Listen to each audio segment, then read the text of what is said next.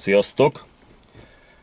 Véletlenül sem szeretném minősíteni a bűnügyi helyszínelők, a mentők vagy a hullások munkáját, csupán a munkájuk végeztével szinte előírásszerűen tanúsított hanyag és felelőtlen magatartásokat nem tudom hova sorolni.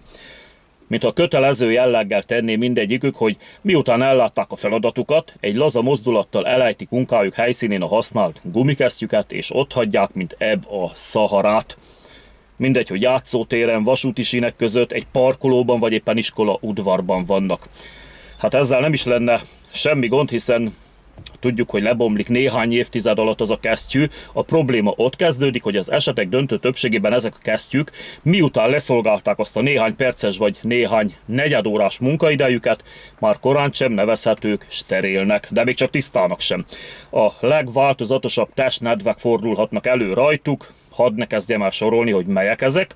Bizonyos esetekben akár megfűszerezve némi baktérium, illetve vírustörzsekkel. Aztán, ha az érzelmi soktól megtört családtagok ezeket a kesztyűket nem szedik össze, mert történetesen nem a ház udvarán vagy a lakásban történik a tragédia, hanem mondjuk a korábban említett helyszínfajták valamelyikén, akkor nagyon könnyen számolhatunk a következő fejlemények bármelyikével arra jár egy kutya, mert faluhelyen szoktak a kutyák egyedül is sétálni, megtalálja, szimatolgatja, nyalogatja, rákcsálja, aztán hazamegy, és a bölcsis vagy ovis gyereket jó szokásához híven képen csókolgatja, ami jó nyálas kutya csóközömből meglehetősen gyakran jut a szájba is, de legalább az ajkakra. Hát onnan már csak le kell nyalni és kész. Vagy tovább vinni a nyalókával, zsíros kenyérrel. Vagy még az is lehet, hogy magát a kesztyűt viszi haza a kutya a gyereknek. De a gyerek is megtalálhatja, aztán csúzlizik vele, felfújja lufinak, közben pedig járulékos eredményként alaposan lenyalogatja. Vagy csak egyszerűen felpróbálja, hiszen nem hülye, felismeri, hogy az egy kesztyű. Hát ezzel meg az a bibi, hogy eleve kifordítva veszik le a mentősök, hullások, helyszínelők, így a külső felülete belülre kerül, a gyerek felpróbálja, megunja, mert izzad benne a keze, eldobja, aztán kiturkálja az orrát, eszik egy-két chipset, amit le is nyalogat az ujjairól, aztán jön az, amit úgy hívnak bizonyos helyeken, hogy rejtélyes diagnózis.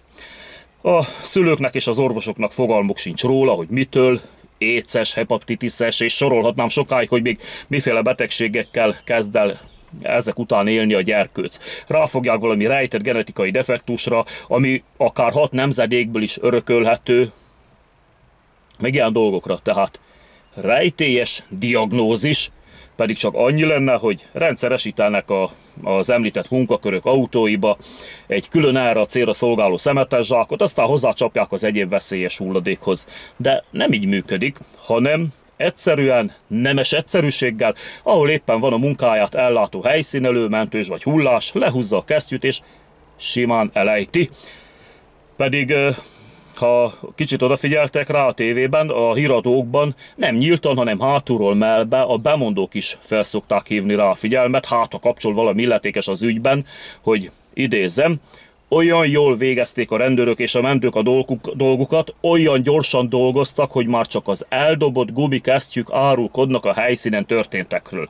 És akkor ilyenkor a kameráikkal is mindig direkt jól rászoktak közelíteni a kesztyűkre, de hiába ledobják és ott hagyják, mint ebb a szaharát, hogy ismételjem önmagam. Na, pedig a családtagoknak Hát főleg a szülőknek borzalmas érzés lehet ezt összeszedni. Ha gyerekek vagy kutyák szedik össze, azt meg elmondtam az előbb. Hát, így megy ezt kérem szépen. Köszönöm a figyelmet, sziasztok!